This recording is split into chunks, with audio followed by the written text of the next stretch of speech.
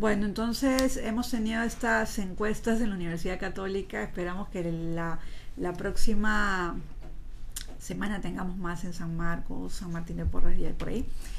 Y bueno, eh, estamos entonces vía Skype con Jo Marie Bart. Jo Marie es doctora en ciencias políticas, es profesora de la Universidad George eh, Mason de Washington, bueno, eh, y ella, bueno, trabaja también en WOLA, es asesora de WOLA y es una persona que ha estado muy vinculada con el Perú, con el tema de derechos humanos y ha trabajado el tema de judicialización, está también haciendo en estos momentos, si más no me equivoco, Marie, estás haciendo una especie de, de, catastro de los juicios que se están se han llevado acá en el Perú. Bueno, seguimos con Rainer porque quería también conversar contigo y verte.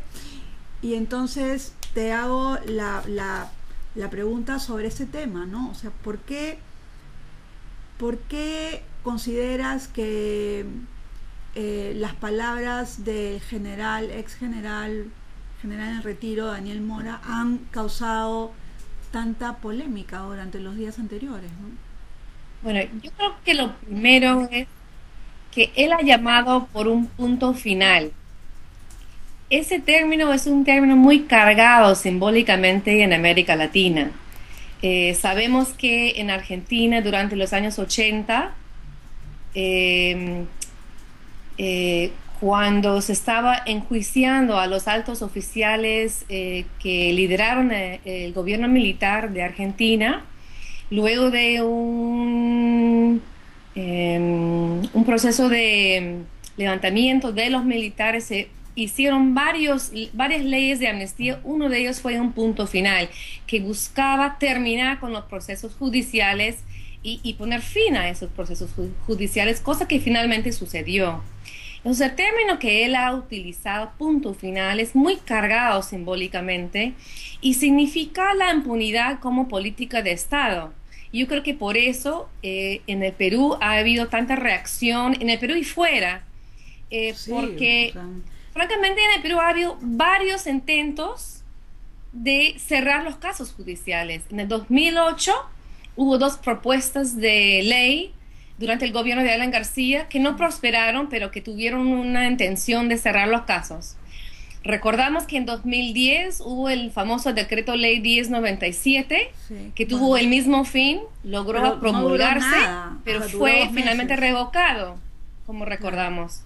Entonces yo creo que en el Perú hay, hay, hay poca tolerancia frente a políticas de impunidad hoy en día. Claro, pero... Y la, gente está, eh, mm, diría yo, vigilante frente a ese tema.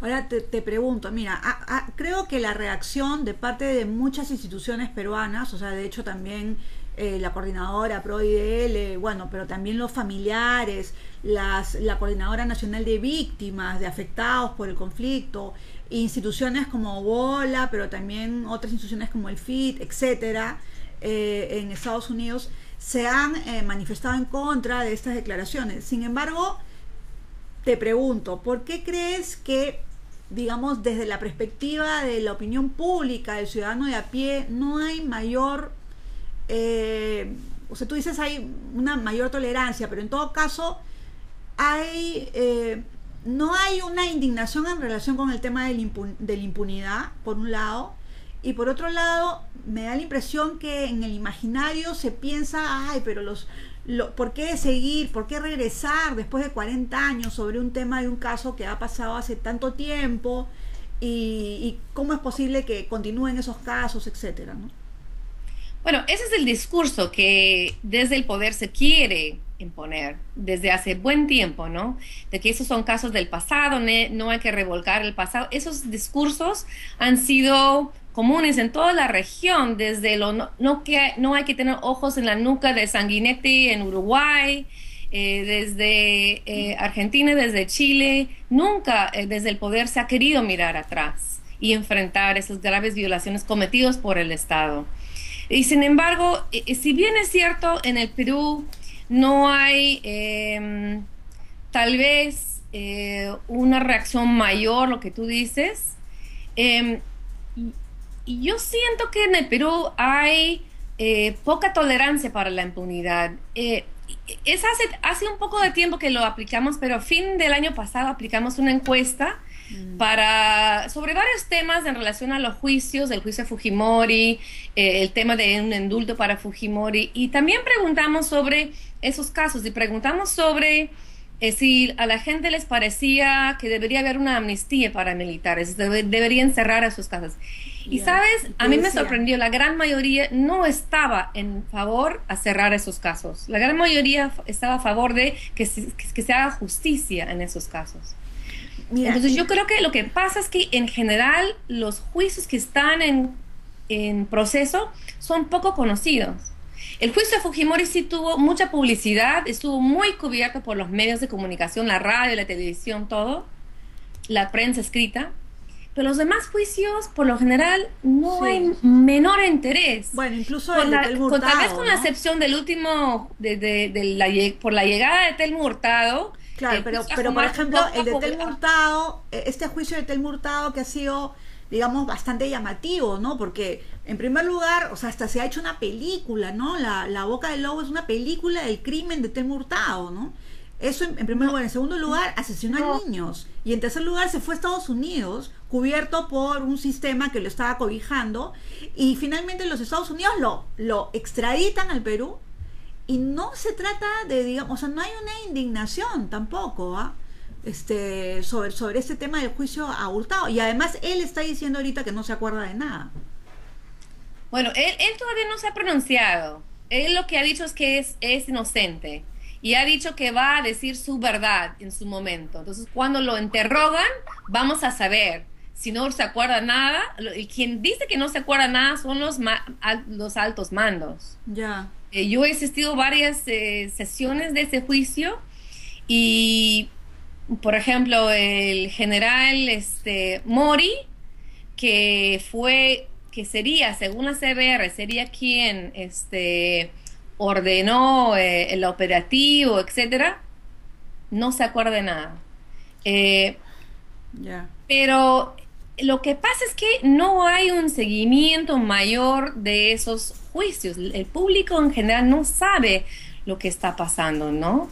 Este, pero Rocío, a mí me gustaría regresar un poco a, lo que decía Mori, es, perdón, Mora, porque eh, él se ha, eh, y él, él, ha dicho que no, lo me, me, malentendieron, yo no dije tal cosa, no sé, no, la, la, culpa ¿no es cierto? Sí. Yo creo que si tú estudias lo que él dijo, él tiene un discurso coherente. Sí, él dice, las Fuerzas Armadas no cometieron violaciones sistemáticas, uno, lo cual contradice lo dicho por la Comisión de la Verdad. Sí. Dice que no puede ser que los casos eh, demoran 10, 15 años, pero en vez de poner el Ministerio de Defensa a servicio de la justicia y colaborar con documentación oficial, él, como anteriores ministros de justicia, se nieguen sistemáticamente a entregar, los datos. Dicen que los han quemado, que no existen cosas que francamente me cuesta creer. Este, eh, y también dice que y cuestiona la figura de la autoría inmediata. ¿Por qué? Porque ah, eso ayuda a eh, ubicar la responsabilidad no solo en el autor material de una violación a los derechos humanos, sino en los autores que están detrás, los autores intelectuales, si quieres. Pero yo, tiene todo un discurso articulado que lleva a que esos casos no deberían estar sucediendo. Ahí llega a su idea de un punto final. Eh, yo, Marí, tú estuviste con el general Mora aquí en Lima y él ha dicho que eh, les dijo a ustedes, a la gente de Bola, que no había ninguna intención de, digamos, eh, camuflar este tipo de temas, sino al contrario, y que por eso los invitaba a ustedes para que vayan a los cuarteles. Así, así lo he dicho. Sí, sí, sí, vi la entrevista. Entonces yo te pregunto. a mí me, un poco me llamó la atención porque francamente yo no grabé la entrevista, pero no recuerdo esa parte de la conversación. Si nos ha invitado a, a los cárceles, felizmente vamos, hemos ido en el pasado. Si nos invita a acompañarlos en, una, en un operativo en el DRAI, vamos, no tengo ningún problema. Pero la naturaleza de la conversación no fue ese. Yo fui para plantearle precisamente nuestra preocupación con el tema de los juicios eh, hacia algunos miembros de las Fuerzas Armadas por violaciones eh, a los derechos humanos. Y fui porque considerando que se trata de un nuevo gobierno, me interesaba, no se interesaba como Gola, tratar de identificar cuál iba a ser la política de ese nuevo gobierno en materia de precisamente colaborar con la justicia. Y el Ministerio de Defensa tiene una tarea muy importante, porque ahí está, hay un montón de información que podría ayudar a esclarecer graves violaciones a los derechos humanos y ayudaría a identificar a los responsables, por lo menos en algunos casos. Bueno, entonces yo, Mari, y, como última pregunta, porque ya nos tenemos que ir con el otro tema, yo te agradezco mucho que, estés ahorita a, a vía Skype con nosotros desde Washington quisiera preguntarte entonces, ¿por qué crees que eh, eh, el, digamos, los ministros de defensa de este gobierno, pero del gobierno anterior y del anterior gobierno, todos sistemáticamente se han negado a proporcionar información a las instituciones del Estado, como el Poder Judicial, para, digamos, seguir avanzando con este tema de los juicios. Porque una de las quejas también de los familiares de los militares es que los juicios son extremadamente largos. Claro, ¿y por qué son largos? Bueno, eso es otro tema.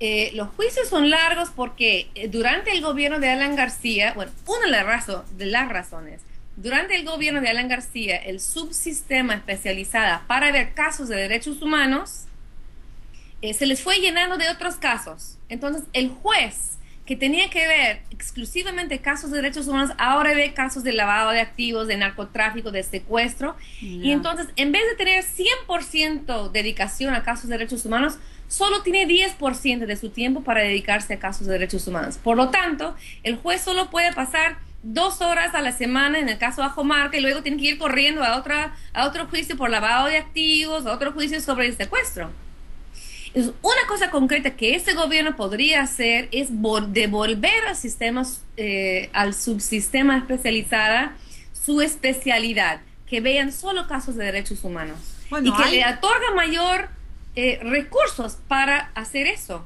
para que se aceleren los juicios. Bueno, y otra cosa que es bien importante señalar es que hay juezas y jueces muy probos que han eh, estado trabajando, digamos, este tipo de casos y por ejemplo, dentro de la próxima semana, si más no me equivoco, IDEPUC va a hacer un homenaje a, diferentes juezas, a Villa Bonilla, en fin, a, otras, porque son juezas que han sido muy valientes en la defensa del tema de derechos humanos, ¿no? Entonces, tampoco no es que, o sea, hay un problema de, que los jueces no son probos, sino que hay un problema de que de que se les está dando demasiados juicios de otras digamos perspectivas y no se puede solucionar con esto, ¿no? Bueno, entonces yo, Marí, te agradezco muchísimo por estar aquí con nosotros.